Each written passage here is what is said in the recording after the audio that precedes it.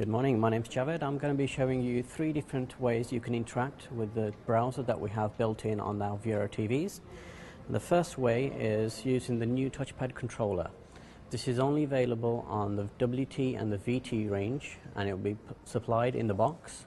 You'll get the normal remote as well as this remote. What it's designed to do is this make your browsing experience a lot easier and allows you to use the, the pad as a mouse controller.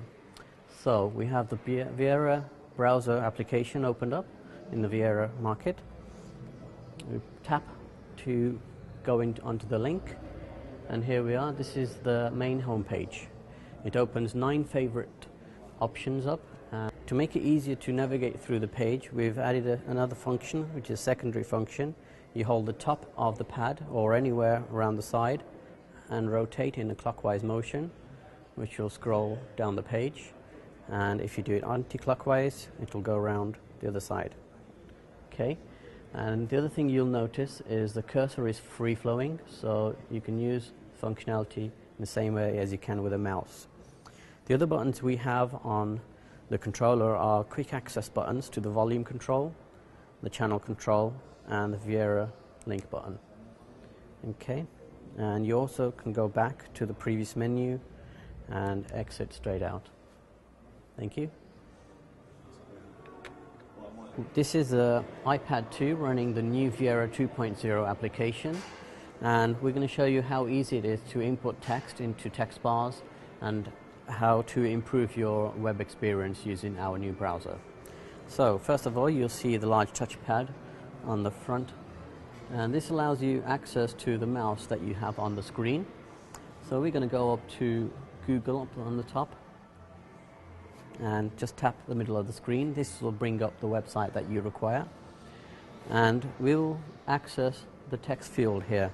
So you double click into that and it will automatically bring the QWERTY keyboard on your iPad. So we're going to type BBC and you have to push the text to the screen. So you press the button up here and that will take the text to the screen and as a quick shortcut for done you can access the blue button. So you click on the blue button and that will now take you to the search for BBC so that's easy way to use the new Viera 2 applications to input text onto your data. Thank you. Okay this is the new Eluga smartphone from Panasonic. And what we're going to be showing you is how you can share content from the smartphone to our TV okay so if you're viewing a website on your browser, you can see we have Google page open here. You can actually push content from your device by holding down for two seconds and pushing up to the television. You'll notice it's almost straight away it opens up the home page for Google and we've got full access with the pad. So now you can go ahead, enter your text and enjoy experiencing the internet a lot easier.